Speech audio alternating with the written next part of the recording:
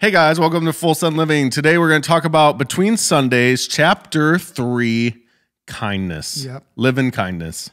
Okay, let's send it. Send it.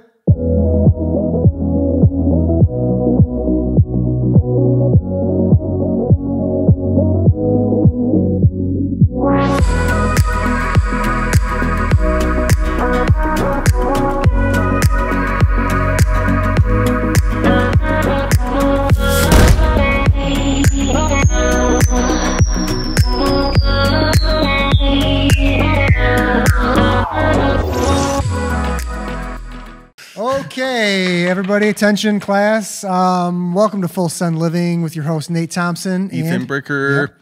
Nate wrote a book. wrote a book. If you didn't catch that in the last two episodes, welcome. Welcome. Yep. Um, it's on Amazon. You can pick it up. It's ten bucks. I'd appreciate it. Some good stuff in there. I think you'll enjoy it. Yep. So the last two episodes, we went through chapter one and chapter 2 We went through communion and. Yep. Bible study. Now we're talking about live in kindness. Yep. Yep. Chapter three. Chapter so three. Follow along with us. It's going to be a good day today. Let's get into Okay. it. Okay. Yep. So Nate, you wrote this uh, this chapter, and it's basically about how when you were a kid, your parents brought in one, two, three, four, five, six, seven, eight different families, probably more, but those are the ones you remember. Yep. There's a, I think a total of twenty eight people. That's incredible. Not at the same time. At the same, the most I think in the house at the same time was like, um, I want to say like thirteen or fourteen people. It was That's a a weird. it was a weird transition. I'll explain Yeah. it really quick. Kara and Matt just moved back from Flint, and they were renting their house, so they had to shack up at mom and dad's house for a couple months. Mm-hmm. They had a baby.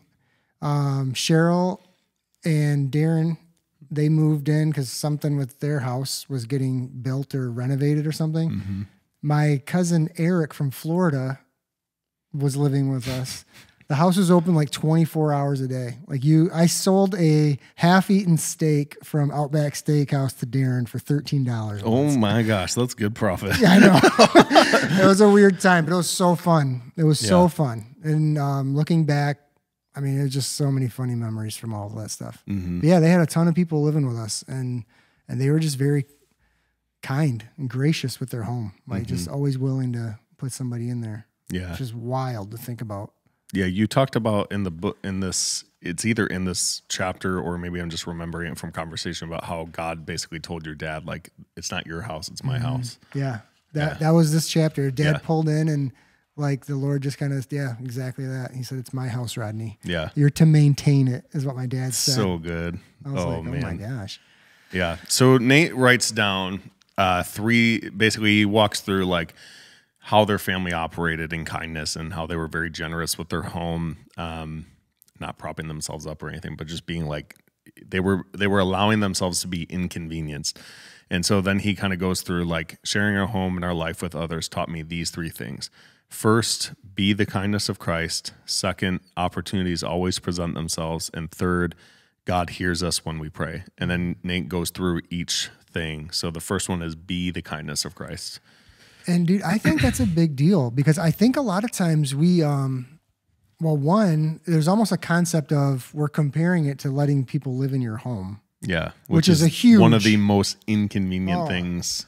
Dude, and then and that's a huge leap. Mm-hmm. You know, but I think like like to be the kindness of Christ, there's that verse that where it says that it's the kindness of Christ that leads men towards repentance. Mm-hmm. And I think um, kindness, it, there is like uh, an inconvenience to it. Yeah. As small as it is to as large as it can be, there you can find the inconvenience of it. But I, I want to think that we all have it in us.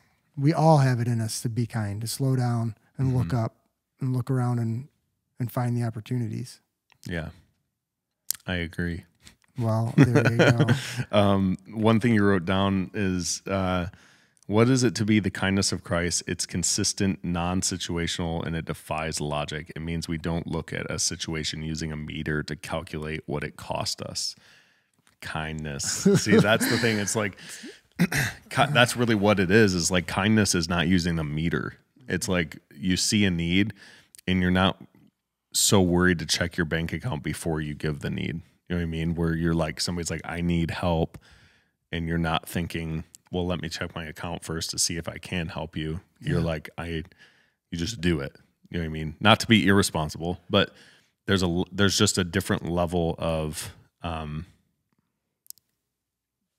being selfless Yeah. towards yourself, so that you can be care, so that you can care for the needs of another. And I, I think, yeah, just that, and even too, living like in that awareness of like the Holy Spirit. Like I feel he's never going to tell you. I don't. Well, maybe he'll tell you not to be kind. I can't imagine it. But like, I think I like want you said- to operate in not my out. fruit. Yeah, you know well- that fruit I gave you? Throw it Throw away. No, that like, fruit's garbage.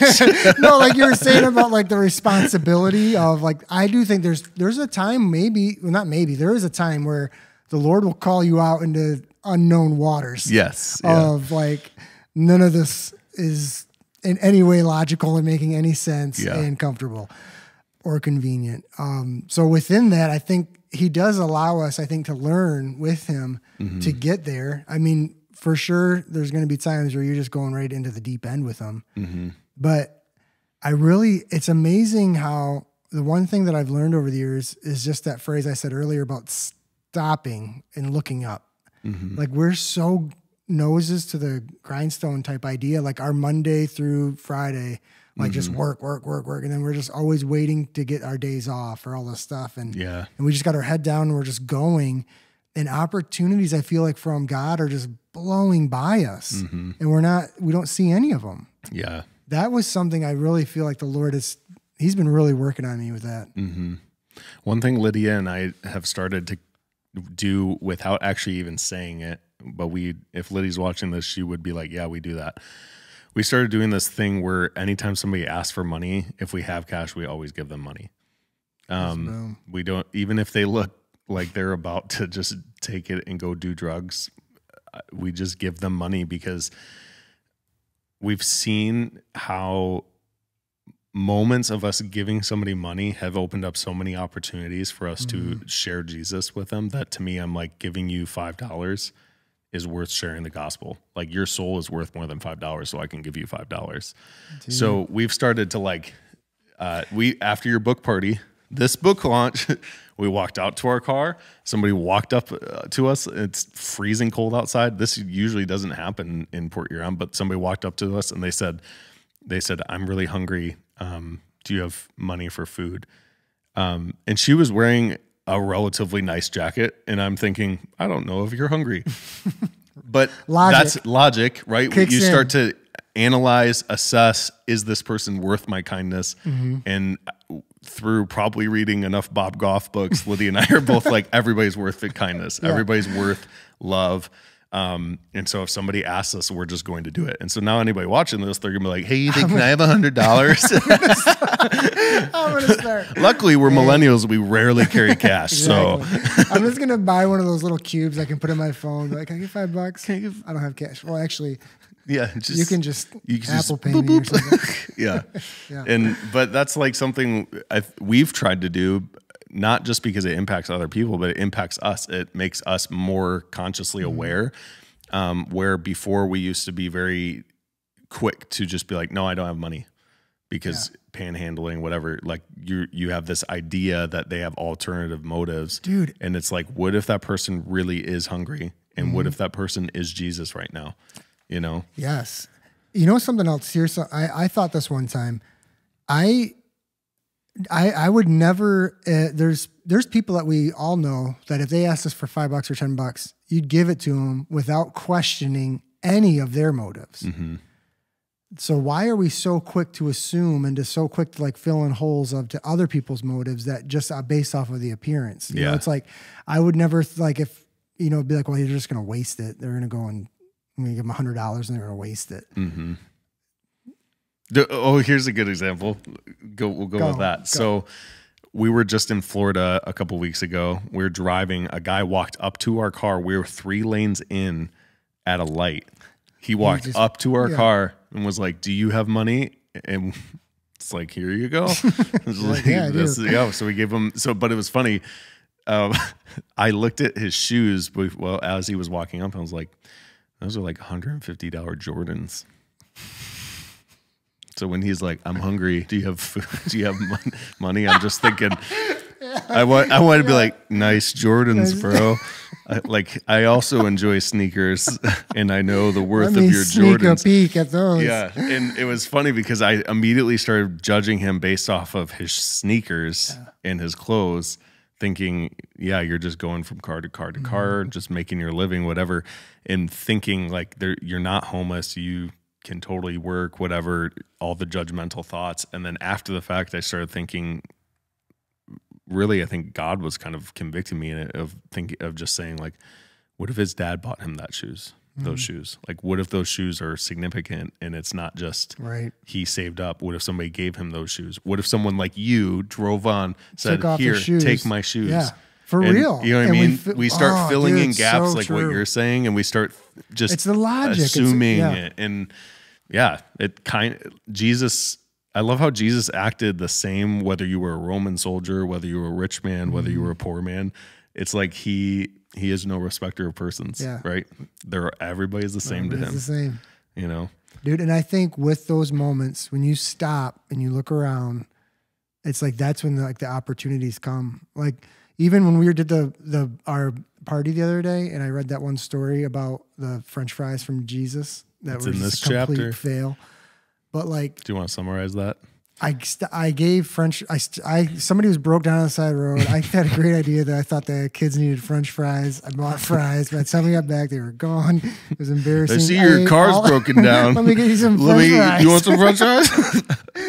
so yeah. the best part is you didn't have the French fries No. with you. You were like, them. I'm going to go out of the way. me just go get some but French fries in reality, you could have stopped him and like, do you need a ride? Do you need help? to go get another car? Yeah, I was like, you guys don't actually need help. What you need is French fries.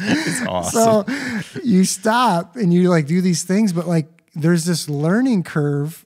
I for me, there's a learning curve in the realization that I don't stop. Like I don't even know how to be kind intentionally in an area that I don't I don't ever go in. And then how many opportunities that we miss because we're just in that hustle or in that you know we, we don't slow down just to look around and find an opportunity. Yeah. We have an idea that I had an idea for so long that like God was going to if if God brought it to me, Mm-hmm. then and then I probably wouldn't be ready even if he did. You know what I mean? Like Yeah. so it's like they present themselves so much we just miss them Mm-hmm. so much because we get so busy um, like I, I have a, I feel like I have a lot of stories of different different things that have happened, but I do miss them often where the Lord says do this, and I'm it's too much of an inconvenience, Mm-hmm. and I don't, and then afterwards the Lord's just like, so you want to change the world?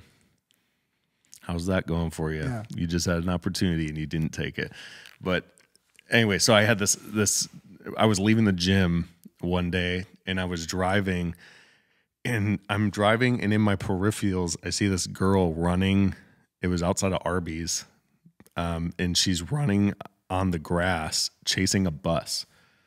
And I just um, I see it, I'm just thinking, oh man, that's you're like, you ain't gonna catch it. he passes the bus. I was just like, oh, well, it was so funny. I like I saw it and I, I just thought to myself, like, man, that stinks. And then in this is kind of this, I guess this is where my brain works because I'm pretty cautious. Is I thought to myself, I can't go back and help her because if if anybody saw me as like a pastor picking up a woman that's not my wife, they're going to assume the worst. I have a story about that. Okay, you tell the story. So basically, the Lord was like, "You help her." Like, like how Jesus went out to the woman caught in adultery. It's like anybody could have assumed something. Oh, well, he was one of her lovers. You know what I mean? Oh, It's like yeah. he he stepped into messy situations, and so, anyways, the Lord was just like, "Go back and pick her up. It will take you five minutes." And so I whipped around, uh, and I- and I got I was in the main drag, so there's cars everywhere, and I just roll the window down. I'm like, "Do you need a ride?" and she's like, "What?" And I'm just like, "Do you need a ride? I saw you chasing the bus. Do you need a ride?" And she gets in my car, and then she gets a she gets in the car, and the first thing I want to say is, "Don't worry, I'm not going to kill you." Knock the Because door. in my in my head, I was thinking, this is kind of ter- you just got in a random dude's car. Like I was just thinking, what in the world? But Yeah. and I just wanted to like, I'm not gonna kill you. That's where my brain goes. I've seen too many movies where it's just like yeah, I've where it's seen like a lot of movies. I'm sure you're wondering that I'm there's going to kill you. a there's a man who's been following you for five blocks. He's wearing glasses, a parka, and a fedora. It's Get a good in. thing you found me. It's like you just want to make of someone's life an action movie. So, anyways, I take her to Kroger. She's like, I was trying to get to Kroger. I drive her to Kroger, and um, and she's like, Thank you so much. I'm a single mom. If I would have missed that bus, I wouldn't have been able to get my groceries for my kids. Dude. and I was just thinking, dude, that. are you kidding me? And it, I already had to drive by Kroger. Right. I think sometimes we assume that the inconvenience is going to be far more inconvenient than it really is. Mm-hmm. Um, and most people who are in need of help really aren't going to ask that much of you. No. You know, so it was that was like a great reminder when I dropped her off. It was like the Lord was just like, you can. And I called Lydia right afterwards. I was like, just so you know, Heads up. I picked a girl up. I mean, no, I mean, it's not what it's not what it sounds like. I picked a girl up, took her to Kroger because she needed groceries for her children. Yeah, I want to share. tell this. your story. My- this story's crazy. I can't wait to hear this. I feel like it's gonna be. It's nuts. I was driving. It's giving me the exact opposite. the Don't exact opposite. everyone This pick. is exactly. This is the other end of the stick. I was driving to get Kate for lunch one day, and this lady was walking down the side of the road. I'm like, she must have run out of gas, trying to get to Wadhams. I'll pick her up.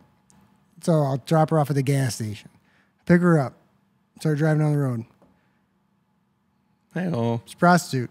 hey oh. Yeah, Let's go. twist. She's like, dude. Just- I just rem- I, won't- I won't forget it How do you know? Because She offered her services. she said, "Is there anything I can do for you?" And I was just like, "What No, are you gonna I'm do for me?" I'm like, you. "You're freaking broke down on the side of the road. I just picked you up." So then escalates. I realize what's happening. Oh my! I say, gosh. no, no, no, no, no, no, no. I just pull back over. I'm like, Get out. And then I go, you don't have to do this. You don't have to do this. And then she's getting out, and then she started yelling at me about needing to get her car fixed. And I'm like, you don't have to do this. And then she slams the door and just walks away. I go, I go pick Kate up, and I'm just like, Kate gets in the car. you said I picked, I picked up a prostitute today. I'm just sitting there like, the heck just happened? And Kate's like, hey, how you doing? I was like, I accidentally picked up a prostitute. Come and get you for lunch. And she's like, what? And I'm like, you're I not love, gonna I love you this. so much, babe. Like, you are not gonna believe this. Oh yeah, so that happened to me a long time ago. So I don't know. I mean, it's like, I was not expecting that. but I was So like, I'm just gonna be kind. If So you're still listening, if you're, you're still wondering. listening- so should I be kind or should I not be kind? just you should. Yeah, just let them out of the car if it goes sideways. But Don't- here's the great yeah. part: is if, even if it doesn't go well, you got a Yeah. great story. And I gave her some good advice. You don't need to do this, but she didn't. Whatever. So Yeah. I think another thing too. I don't know how to transition the, out of this. one of those. I don't know if we can come back. I don't know that. how to. Be kind, people. Be, kind, Be rewind. kind. I, wasn't sure if I should. I, I don't know if we can go anywhere from here. Nate. I think Okay. here's the moral of the story. You don't know, dude. Here, Yeah. uh, let's bring it back in. You don't know who you're actually going to be kind to. Mom and dad, when they were helping these people out, there were some like messed up situations for real. Like they helped out people. Like when you read, if you read about in the book, like it's crazy. The, some of the people they were helping. So you never know who you're going to be kind to. But that's the beauty of being kind for the sake of the gospel. A- I don't, know, I don't know if I've ever told you that story. I don't tell a ton of people except for everybody who's going to watch this. That's a long time ago. Dude, I can't. I can't go. I can't right, recover gonna- from I'm it. gonna take but it from here. here's how. How do you, you, send you it? gotta be kind, people. You gotta be kind. You really do. Look um, here, let me. part. read this quote. Okay, let's read a quote. Whew, I'm sweaty. That's how. nervous. That's how much. Well, then you you you took it back so quick that I. Well, I had to. You were. Yeah, I was falling apart. But then the more you tried to keep it coming I- back, I was. That was I was like uh, not able to. right before like, like, like, like It was like high speed wobble. you know what I'm like, and then yes. cut. Okay. Yeah. Well, let's le- let's read the the quote at the chapter mark, Nate says this. There are times when being kind is convenient, it's easy, and it makes sense, but many times being kind is inconvenient, challenging, or completely illogical. So here's how do you send it this Okay. week, people. You send it by allowing yourself to be inconvenienced for the needs of another. I agree. Let's find somebody this week. Just look around, keep your eyes open. There's going to be somebody. Yep. Slow down and look. Mm-hmm. You'll see the opportunity. You'll find it. Yep. And uh, meet their needs. Yeah. Yep. Even it, even if it's just uh, hamburger, whatever, or prostitute walking. no. no, no, no, no, Sorry. No. Nope. Stay vigilant, people. you want stay woke. Can't recover from that one. Okay. I was like, no, no, no, don't you guys. those needs. Be sure to subscribe, uh, like it, share Comment. it, do all the stuff. Rate it on. Rate it. Yep. Help this is us one of our most off the This is rails a good one. podcasts. It's Yes. real life, man. Stuff happens. Okay. Love you guys. Love you guys. Send it. Send it. that story is nuts.